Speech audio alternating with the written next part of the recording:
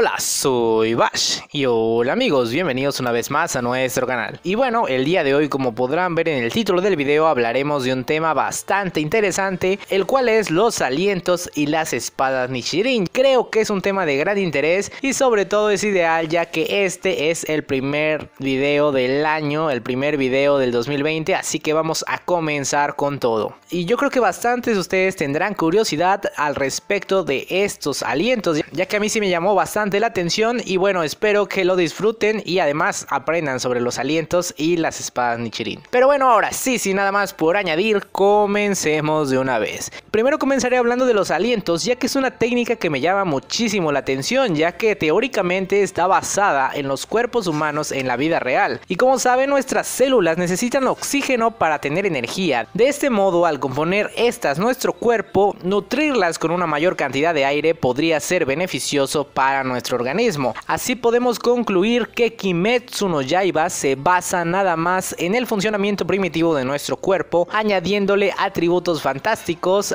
aunque no teniendo tantas bases reales, pero directamente sí se basa en el funcionamiento de nuestro cuerpo. A pesar de que ninguna técnica de respiración hará que tengamos esos poderes, para llevar alguna actividad física sí que serán necesarios. Pero bueno, ahora sí ya comencemos directamente con lo que son los alientos en el anime. Son estilos de esgrima practicados y enseñados por los cazadores de demonios, los cuales son capaces de que sus usuarios luchen contra poderosos demonios a la par, es decir, que puedan equipar a estos poderosos seres. Generalmente usan para pelear estas famosas espadas Nichirin para matarlos, aunque hay algunas excepciones. Primero comenzaremos hablando de las espadas Nichirin, ya que sirven de gran forma para reconocer el estilo de aliento que usará el usuario, ya que las cuchillas de las espadas cambian de color según el usuario, lo que hace que cada cuchilla sea única. Un detalle interesante es que la cuchilla de Zenitsu, que su coloración no se forma con una banda sólida, sino más bien con una forma de relámpago, una situación que aún no se explica del todo. Las espadas Nishirin son utilizadas y fabricadas específicamente para cazar demonios. Se forjan a partir de un material único que absorbe constantemente la luz del sol, siendo esta una de las principales debilidades de los demonios. Entonces, una decapitación a partir de este tipo de espadas podría acabar con casi cualquier demonio. Ahora, como mencioné antes, estas espadas se tornan de color de acuerdo al aliento del usuario, siendo los alientos básicos, pues el color azul representa el agua, el gris representa la roca, el verde representa al viento, el rojo representa al fuego y el amarillo representa al trueno, teniendo a partir de ahí los mismos colores derivados para la misma derivación de alientos, pero bueno, eso ya lo iremos hablando más adelante. Una extraña variación en cuanto al color de las espadas Nichirin es lo que sucede con Tanjiro Kamado,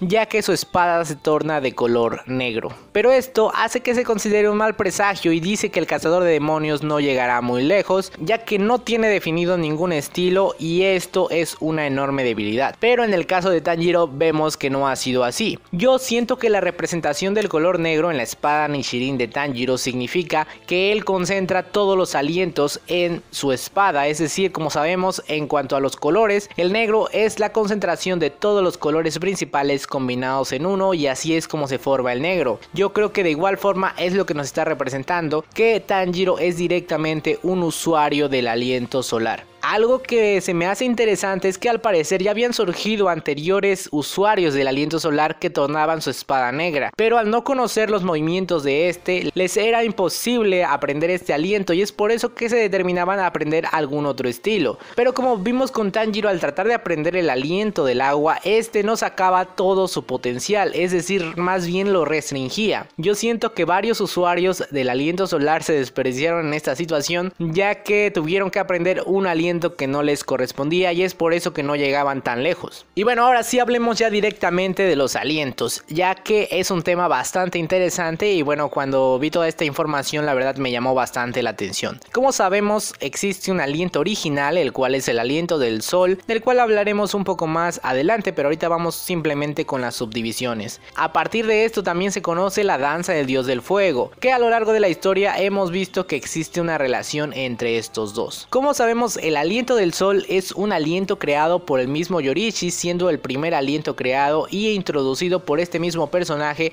a los cazadores de demonios. Como tal, es un aliento que ningún otro cazador de demonios pudo aprender en su momento y es por eso que se crearon varias derivaciones de este aliento solar. Este aliento solar actualmente sabemos que tiene 13 posturas, de, las cuales hemos visto que Tanjiro ha usado 12 de ellas y aún desconocemos la décimo tercera, pero bueno, de esta ya hablaremos un poco más al final en la conclusión. Y la relación con la danza del dios del fuego, como comenté en algunos videos anteriores, era imposible transmitir directamente el aliento solar, por lo cual Yorishi creó la danza del dios del fuego como guía o movimientos básicos para que así el aliento solar no se perdiera con el paso del tiempo. Y es por eso que la danza del dios del fuego fue creada. Al llegar un usuario digno del aliento solar, alguien que pudiera aplicar realmente en un estilo de combate esta danza del dios del fuego, es así como se obtiene el aliento solar que es el que está intentando desarrollar Tanjiro. Algo que sí hay que aclarar es que a pesar de que la danza del dios del fuego es la base del aliento solar, no son directamente iguales, ya que hay una pequeña variación entre estos, y si se necesita de un plus o algo más para convertir la danza del dios del fuego en el aliento solar. Pero como dije, al final del video hablaremos de algunas teorías sobre la décimo tercera postura. Pero bueno, como les dije, debido a que no se podía transmitir directamente, este aliento se subdividió en varios alientos, los cuales son los siguientes, el aliento del agua, el aliento de llamas, el aliento del viento, el aliento del trueno, el aliento de la piedra, siendo estos los cinco elementos conocidos principales, pero también debido al manga sabemos que fue creado a partir de este el aliento de la luna. La situación es que este aliento jamás fue transmitido debido a que Kokushibo no quería tener sucesores y él quería seguir teniendo este único poder. Es por eso que solo existe un usuario conocido del aliento de la luna. Pero bueno, profundicemos más en estos tipos de alientos. Primeramente hablaremos del aliento del agua. Se dice que este aliento de respiración es el más común entre los cazadores de demonios debido a que es más fácil de aprender para principiantes. El cultivador primario de los cazadores de demonios actualmente es Urokodaki, como ya todos conocemos, aunque se sabe que existen también otros cultivadores. En general existen 10 estilos del aliento del agua,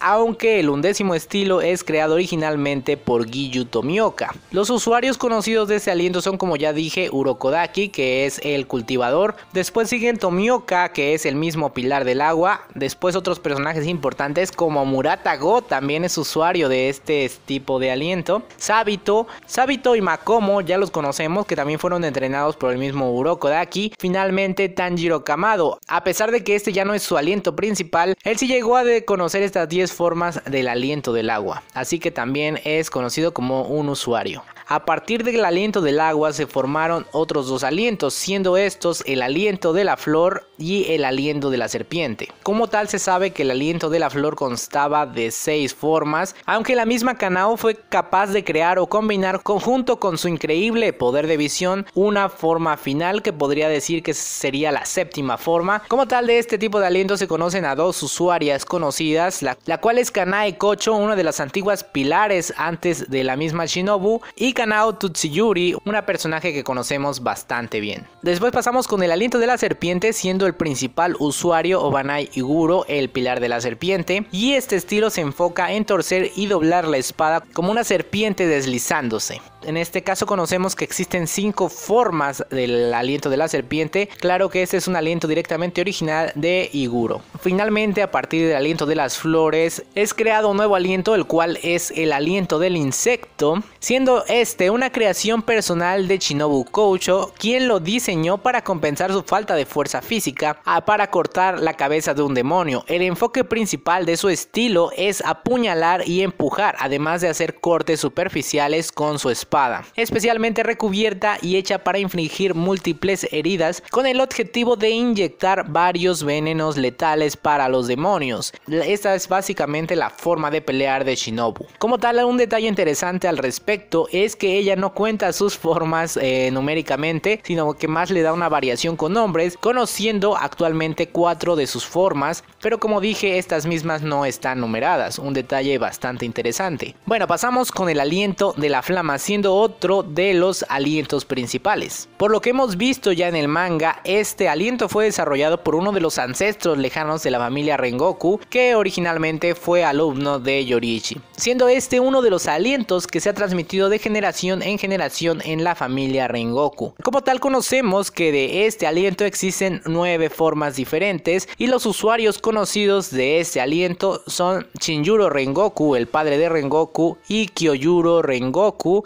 el último pilar de la flama. Por el momento no sabemos lo que ocurrirá con este tipo de aliento y si el hermano de Rengoku podrá seguir con la tradición, pero veremos qué es lo que sucede, ya que la familia Rengoku durante generaciones ha sido la portadora de este aliento. A partir de este aliento se desprende un aliento más que es el aliento del amor, siendo la usuaria principal y la creadora de este tipo de aliento Mitsuri Kanroji, la cual es también conocida como la pilar del amor. Las formas y técnicas de, que utilizan este estilo de respiración solo pueden ser realizadas con éxito por esta usuaria debido a la constitución única de su cuerpo que la hace increíblemente flexible y ágil, pero que aún así posee una fuerza sobrehumana debido a que sus músculos son 8 veces más densos que los de un humano normal, lo que le permite dar golpes rápidos y poderosos y moverse sin obstáculos debido a que su cuerpo no es físicamente voluminoso. De este aliento conocemos que existen 6 formas diferentes, las cuales como dije son únicas de su portadora la pilar del amor. Continuando con los alientos principales pasamos al aliento del viento, siendo de igual forma el usuario conocido el mismo pilar del viento Sanemi Shinasugawa. Como dije de igual forma este es uno de los primeros alientos desprendidos del aliento solar, eh, ahí la razón de su poder y en este aliento se desprenden 8 estilos conocidos usuarios por este mismo pilar. De este aliento del viento se desprenden otros dos alientos siendo el primero el aliento de la niebla y también formando otro pilar bastante querido y conocido, el cual es Muichiro Tokito. A pesar de ser un aliento derivado del mismo aliento del viento, también mantiene un enorme poder y se conocen 7 formas a partir de este tipo de aliento. Y después uno que me llamaba bastante la atención también que se desprende del aliento del viento es el mismo aliento de la bestia siendo el creador y único usuario el poderoso dios Inosuke.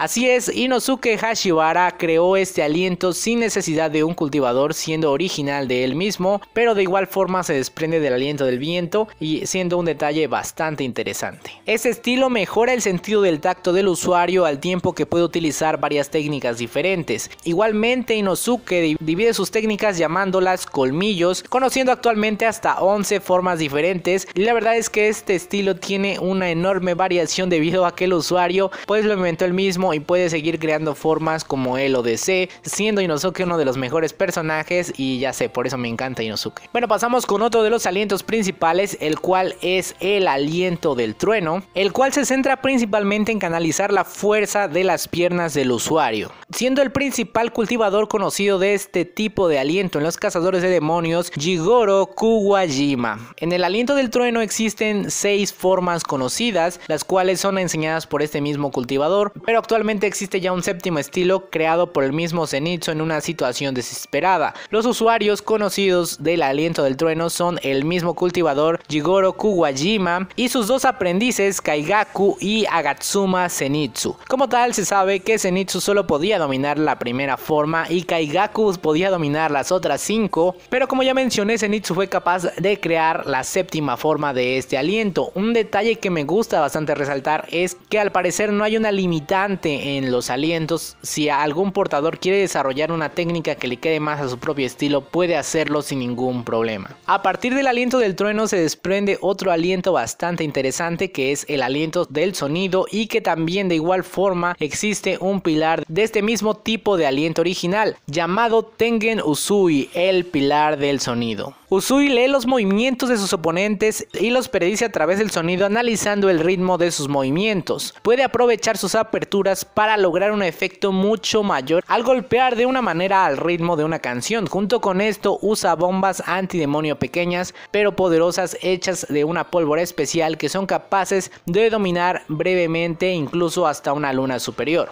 En este caso se conoce que existen cinco estilos diferentes o cinco formas del aliento del sonido. Finalmente, uno de los últimos alientos principales es el aliento de la roca, que de igual forma tiene a uno de los pilares existentes en el mundo de Kimetsu no Yaiba y de hecho el pilar más poderoso actualmente Hyomei Himejima. En ese caso no se conoce quién es el cultivador principal de este estilo. También para este tipo de aliento conocemos que existen cinco formas actualmente, aunque no tenemos una limitante todavía, siendo como dije el principal representante el pilar de la roca. Después continuamos con el aliento de la luna, como dije, siendo este otro de los alientos derivados a partir del aliento del sol y con el objetivo de ser creado como la contraparte del aliento solar, debido a que es creado por el hermano de Yorishi, Kokushibo, una de las lunas superiores. De hecho, es uno de los alientos que se le conoce una mayor cantidad de formas diferentes, llegando a ver hasta la decimosexta forma. Esto también debido a la experiencia del mismo usuario del aliento de la luna, Kokushibo, ya que ha vivido